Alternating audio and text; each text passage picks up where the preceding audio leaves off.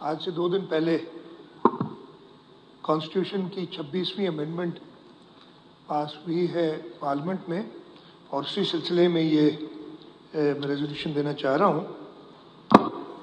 Sir I may be allowed to move a resolution under rule 123 of the rules of procedure the provincial assembly of Sindh with a request that under rule 256 the notice period under rule 124 sub rule 2 may be suspended and I may be allowed to move the resolution at once Sir, you are. Thank you. This House recognizes and resolves that the 26th Constitutional Amendment is a much needed step towards establishment of equality between provinces and provincial judicial and providing judicial relief to the people of Pakistan. Acknowledges the relentless efforts of Pakistan People's Party Chairman Bilawal Bhutto Zardari in ensuring the passage of the amendment and appreciates that in doing so, he has maintained the supremacy of the Constitution as envisioned by his grandfather Shahid Zulfikar Ali Bhutto and fulfilled the vision of his mother, Shahid Mohtarma Benazir Bhutto, as enshrined in the Charter of Democracy, believes that the 26th Amendment is a landmark achievement empowering provinces after the 18th Constitutional Amendment spearheaded by President Asif Ali Zardari. Appreciates all political forces that come together to achieve consensus and pass, pass this historic amendment.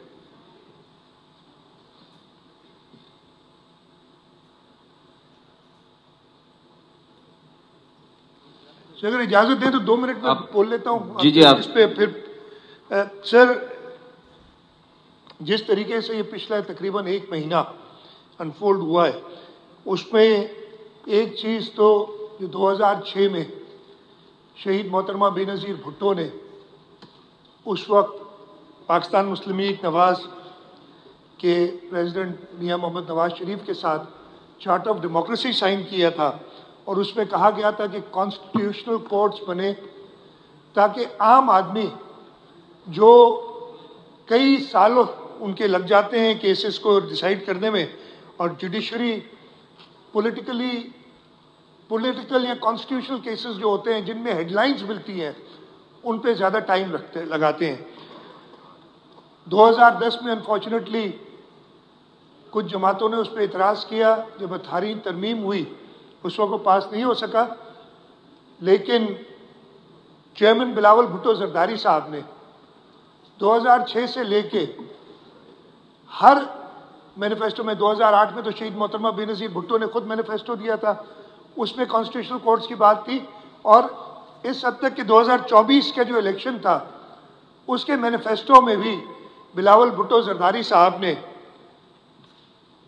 Constitutional courts की बात की थी ताकि आम आदमी को relief मिले। और फिर जब ये बात बाकी लोगों की समझ में आई और कॉन्स्टिट्यूशनल कोर्ट्स की बात हुई तो जिस तरीके से चेयरमैन बिलावल भुट्टो जरदारी साहब ने इस पूरे मूवमेंट को मैं कहूँगा स्पेयर हेड किया, वो सबने देखा। और इसमें ना सिर्फ़ कॉन्स्टिट्यूशनल कोर्ट की बात है, जैसे मैंने पहले ही पैराग्राफ में कहा है कि इसके अंदर सूबों के दरमियान इक्वालिटी भी हुई है। इसलिए कि जो अमेंडमेंट पास हुई है और जो आइन का हिस्सा बन गई है गजट होके और आइन का हिस्सा बन गई है, इसमें यही लिखा है कि इस कॉन्स्टिट्यूशनल कोर्ट में चारों सूबों से बराबर नंबर के जजेस होंगे।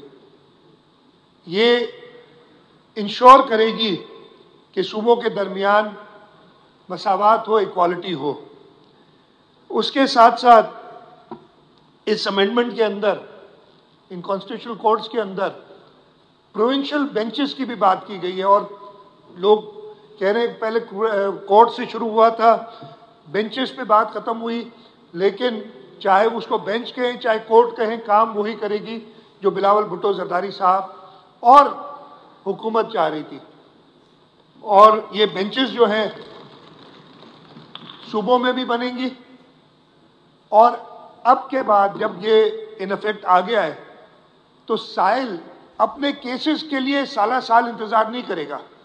जो कॉन्स्टिट्यूशनल मैटर्स होंगे, सूबे में आर्टिकल 199 के जमरे में जो कुछ आते हैं और वफाक में, सुप्रीम कोर्ट में आर्टिकल 184 और 186 के जो इश्यूज़ हैं, अब वो कॉन्स्टिट्यूशनल बेंचेस सुना करेंगी, वो अलग होंगी।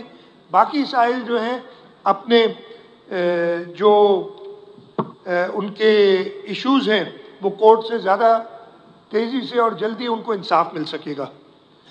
इसमें जो बेहतरीन बात हुई है, जो मेरा ख्याल है सब रियलाइज़ करते हैं, शायद कहते नहीं है कुछ दोस्त, कि बिलावल भुट्टो जरदारी साहब ने ये अज़म किया था, ये आदा किया था कि जैसे शहीद जुल्फ़ार अली भुट्टो ने मुतफ़ा तौर पे 1973 का आइन मंजूर किया था, जैसे आसिफ अली जरदारी साहब की क्यादत में अठारहवीं तरमीम, जो कि तिहत्तर के कॉन्स्टिट्यूशन को आमरों ने उसकी शक्ल बिगाड़ दी थी, उसको वापस उस शक्ल में लाने के लिए जो शहीद जुल्फ़ार अली भुट्टो ने हमें दिया था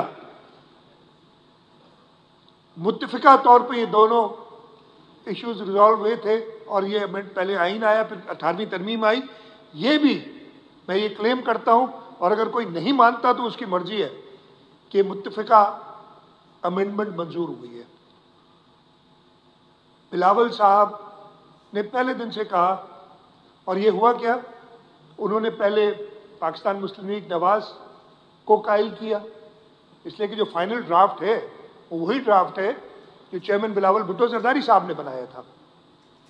उन्होंने मौलाना फजल रहमान को कायल किया, उनकी जमात से बात की, उन्होंने एग्री किया और रिकॉर्ड पे मौजूद है कि पाकिस्तान तहरीक इंसाफ के जो सदर हैं, बैरिस्टर गौहर, उन्होंने भी पब्लिक में कहा कि जी, हमें जो हमने कंसेंसस डेवलप कर लिया है, लेकिन फिर एक शख्स है जो शायद इंसाफ पे बिलीव नहीं करता, जो अपने नब्बे या अस्सी या जितने भी मेम्बरान हैं, उनको मना कर दिया जबकि वो चाह रहे थे। जब उनका लीडर, जो पार्टी का सदर है, वो कहता है कि जी, हमने कंसेंसस डेवलप कर लिया मौलाना फजल रहमान साहब वाले जो था अमेंडमेंट उस पर और वो वही अमेंडमेंट थी जो बिलावल भुट्टो जरदारी साहब और मौलाना फजल रहमान साहब ने साथ मिलकर बनाई थी। तो फिर तो ये मुतफ़ा हुआ। हाँ एक, वो शख्स जो किसी असेंबली का मेंबर नहीं है, उसने शायद उसको पसंद नहीं किया। बाकी सारी असेंबली मुतफिक थी इस पर और ये सबको पता है तो ये भी मुतफ़ा करारदाद है मुतफ़ा अमेंडमेंट है जो मंजूर हुई है, और इसके बाद इन ताला जो प्रॉब्लम्स जुडिशरी के अंदर लोग फेस कर रहे थे, जो एक जुडिशल ओवर रीच और ये मैं, मेरे लफ्ज़ नहीं है, ये अपने सुप्रीम कोर्ट के जजेस की जजमेंट्स हैं कि हमारे यहाँ जुडिशल ओवर रीच हो गई है। और उसको अब पार्लियामेंट इसलिए कि ना सिर्फ़ इस अमेंडमेंट के अंदर ये बात आई है कि अब जैसे हुआ है चीफ जस्टिस का इंतखब, एक पार्लियामेंट्री कमेटी करेगी, जजेस खुद नहीं करेंगे।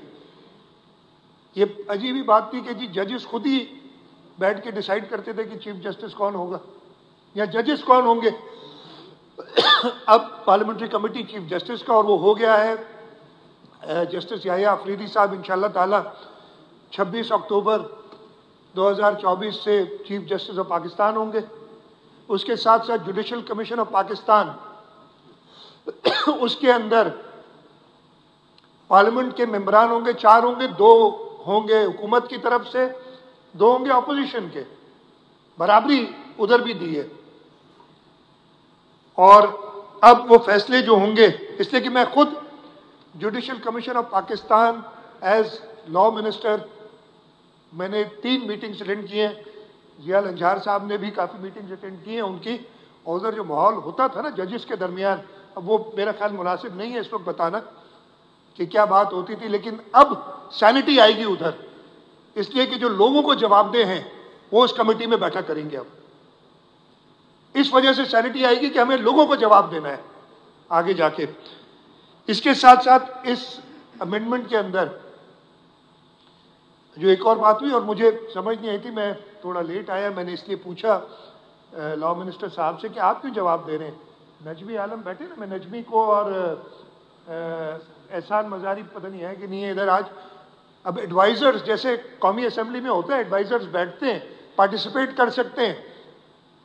अब वो अमेंडमेंट हुई है, मुझे नहीं पता कि नजमी ने आज क्यों सवाल के जवाब, आज तैयार नहीं होंगे, शायद नए नए आए। लेकिन मुझे ये पता चला है कि शायद असेंबली सेक्रेटेरिएट से कहा गया है कि वे जवाब नहीं दे सकते। ये मेरा ख्याल है उसने आइन नहीं पढ़ा जिसने ये बात कही है। उसने हमारे रूल्स ऑफ़ प्रोसीजर नहीं पढ़े। इन रूल्स ऑफ़ प्रोसीजर में भी लिखा है कि क्वेश्चन के जवाब कौन देगा? The question shall be answered by the minister और द पार्लियामेंट सेक्रेटरी कंसर्न और इसमें प्रोवाइजो एक है provided that if the question has been asked in respect of a department to which there is no minister and the chief minister has appointed a member और his advisor or a special assistant, the question shall be answered by such advisor or special assistant. अब member को नहीं adviser के ये assembly से बाहर है। लेकिन इसका मफहूम यही है। और जब आइन इजाज़त देता है तो ये रूल्स आइन के ऊपर नहीं है। तो मेरा ख्याल है आज पहले दिन गलती हो गई है, ये गलती दुरुस्त फरमा लें। और अगर इनको क्लैरिफाई करना है तो रूल्स को कर दीजिएगा, अगर करना चाहें। लेकिन एडवाइजर्स अब इस हॉल में बैठ सकते हैं और वो पार्टिसिपेट कर सकते हैं वोट नहीं कर सकते, इसलिए कोई मेम्बरान नहीं है। जैसे कौमी असम्बली में होता है। तो मैं अपनी तरफ़ से, अपनी पार्लियामेंट्री पार्टी की तरफ़ से पूरे कौम को मुबारकबाद देता हूँ। एक तारीखी फैसले पर ये इतना ही बड़ा फैसला है। इधर हमारे यहाँ कायम अली शाह साहब बैठे हैं, जिन्होंने उन्नीस सौ तिहत्तर के आइन में एक्टिवली वो मेंबर भी थे कमेटी के पार्टिसिपेट किया था। ये इतना ही तारीखी मोमेंट है जो उन्नीस सौ तिहत्तर का है। यहाँ जो अप्रैल 2010 में गालिबा अठारहवीं तरमीम हुई थी और अब अक्टूबर 2024 में ये छब्बीसवीं तरमीम से हमने आइन में इस तरमीम के बाद पार्लियामेंट को मज़ीद मज़बूत किया है और पार्लियामेंट के मज़बूत होने की वजह से इस मुल्क की आवाम और मज़ीद मज़बूत हुई है। आ, मैं चाहूँगा दरख्वास्त करूँगा कि इस रेजोल्यूशन को यूनानिमसली अगर सब इसलिए कि दोस्तों को मैं बता रहा हूँ आप लोग भी दिल से तैयार थे। वो आपकी जमात कम अज कम आपका लीडर जो है इस वक्त जो सदर है जमात का चेयरमैन है, जो भी उसको कहते हैं, चेयरमैन है जमात का। उस चेयरमैन की कहेंगे तो मैं आपको वीडियो क्लिप्स दिखा दूँगा। उसने कहा है कि हमें कंसेंसस है उस ड्राफ्ट से जो मौलाना फजल रहमान ने हमें दिखाया है। और मौलाना फजल रहमान का जो ड्राफ्ट था, वही चेयरमैन बिलावल भुट्टो जरदारी का ड्राफ्ट था और वही ये फाइनल ड्राफ्ट है जो अप्रूव हुआ है। आपको बहुत शुक्रिया।